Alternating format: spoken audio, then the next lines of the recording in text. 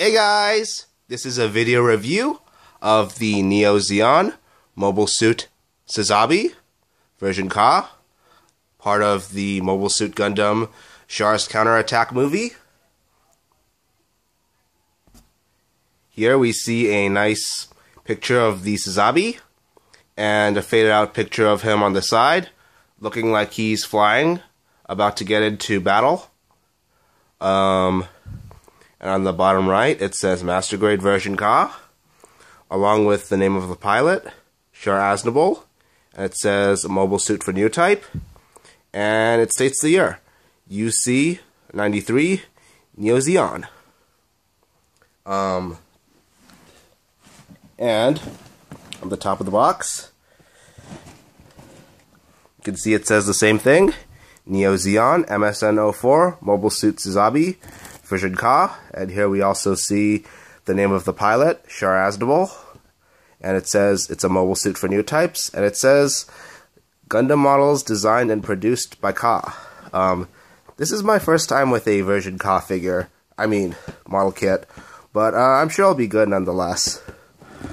Um, here we can see a picture of uh, the Sazabi about to um, shoot someone or fly into battle. And here we see a picture of the backside of the Sazabi. Now the wigs aren't quite as big as the Sinanju, but he does have these tubes sticking out the back just like it.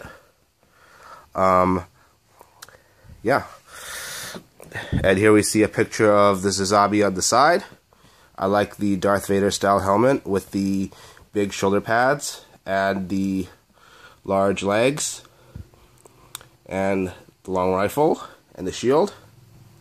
Now, this has been a figure I've been wanting to get for years, ever since I purchased a, a Sinanju.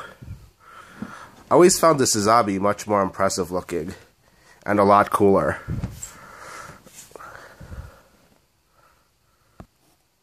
I actually have the high grade Sinanju which comes with a ton of stickers. Hopefully this won't need as many stickers to look like the picture, but here's the other side. Uh, here we can see the long rifle, and the short rifle, and the shield, and his beam, beam swords. Here are the funnels, which it looks like they fold out. Again, we see a picture of the front and the back. And here we see what looks like various gimmicks of the fig for the figure. Here we can see the head opening up. Um, I think this is the shoulder opening up. Um, these are probably the side skirts. This is the hand. Uh, these are probably the wings. Um, probably the butt flap, but I'm not sure. Um, leg thrusters, I think. And uh, not sure what this part is, probably the knees. And here we can see on the other side, um, Neo Zeon. Again, the same thing as the front. This picture of him flying, and a picture of the suits in this neutral pose. And it also says Mobile Suit Sazabi, version Ka, with the name of the pilot, and says it's for new types and made by Ka. And it's pretty much the same thing on the other side. And you can see the nice Bluefin sticker right here. Uh, they're the they're the sorry, they're the distributors of Gundam in the United States. Um, the bottom. Um, not sure if this did it come like this in the factory. Um, you can see the bottom of the box is brown. Um, I usually don't like this because this cardboard material isn't very waterproof. I usually kind of like the glossy um, bottom sections on the real grade kits, but it does look like it fits the box nicely. I'll have to be careful with the bottom of this. Ah, but that's it for the box. So, let me get my camera into position.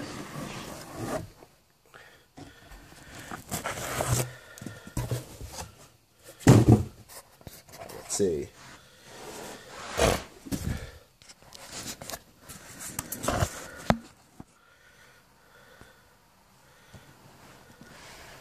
All right. Take off the top. And we can see all the parts. This is probably the shield, or at least the black outer part of it.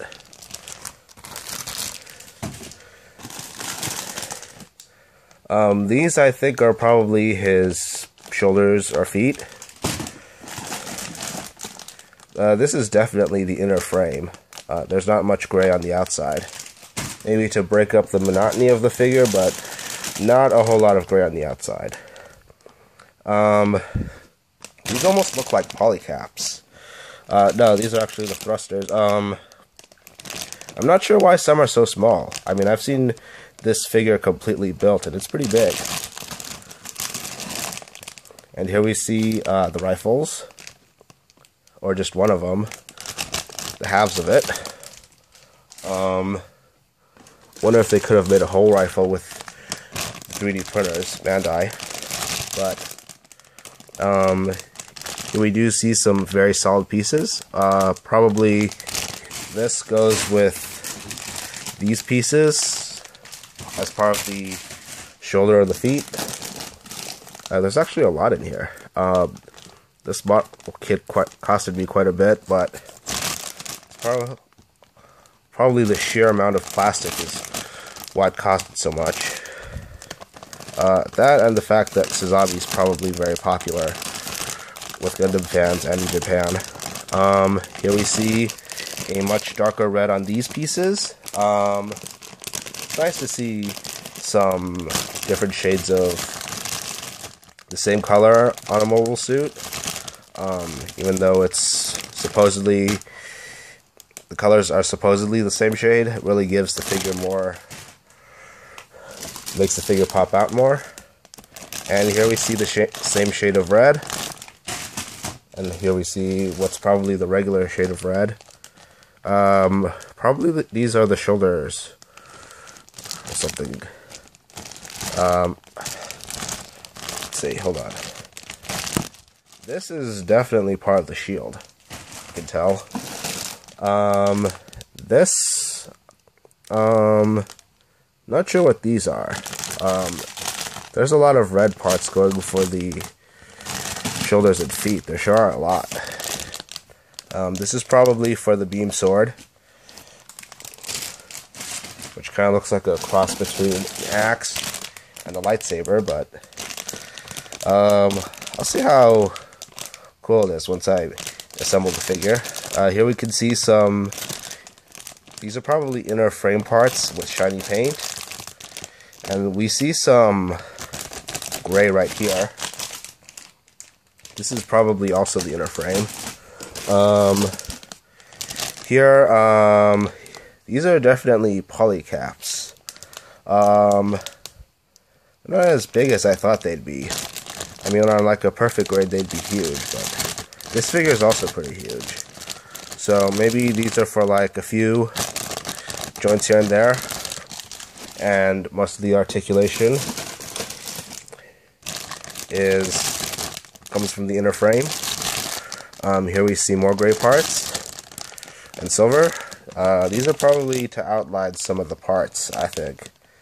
Um, I haven't seen the Sinanju enough to know where these go, but I'll find, I'll find, I'll, sorry, I'll find out soon enough. Um, this, um, pretty sure this is probably part of the shield too. Um, missing the Neo Zeon symbol, but um, I'll definitely put it on there. I mean, I usually don't like to put a lot of unnecessary stickers, but it's pretty. The Neo Zeon symbol is pretty iconic to the um, Zeon suits in the Universal Century, so that'll definitely go on. Um, these are probably more pieces of his arms or feet. Um, yeah. So let's take a look at the instruction booklet.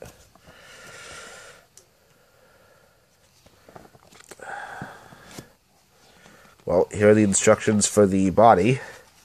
I'm sure. Um, this whole thing, the first part. Um, I'm not sure what parts.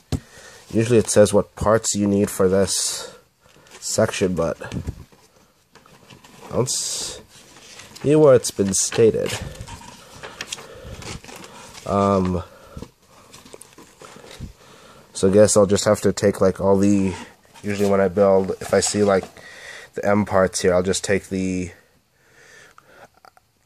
try to remember all these letters and take those runners when I try to build the figure.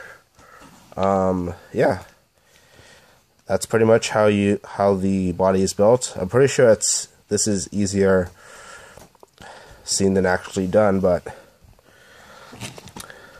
I'm I'm sure I'm sure it won't be too difficult. Um, this is these are the tubes. This is the head. Um, I think a green sticker is supposed to go in here somewhere for the eye. Um, or maybe this is just a green part. Probably, maybe not, but we can see um, how to build the arms. Um, the arm part doesn't look too bad. Although a lot of these instructions you have to double up on, so it's, it's actually twice the work to follow the instructions for the arms, but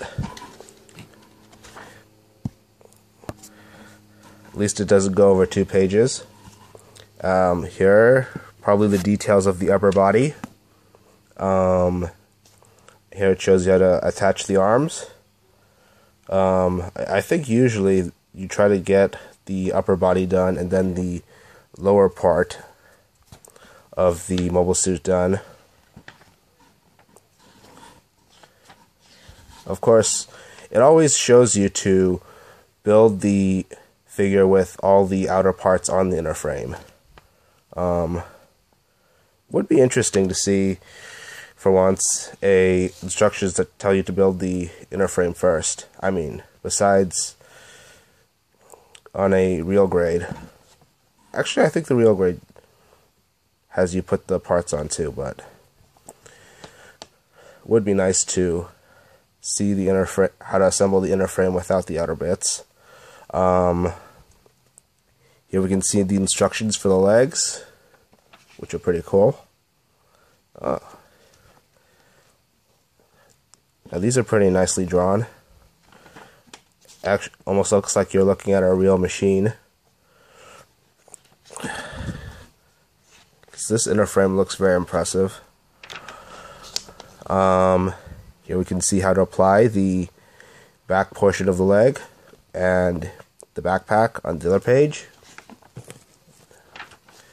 Um, this shows you how to attach the. Uh, this is. I think this is where the thrusters go. Now, thrusters are pretty small, so I guess he needs a lot of thrusters on his backpack. And here it shows you how to finally assemble it. Um, I guess you should build the backpack and the feet and the lower the lower body before attaching everything together. Um, hmm, interesting. Transformation system. That's odd. Probably not a full blown alt mode, just probably like a mode with everything folded out or something like that.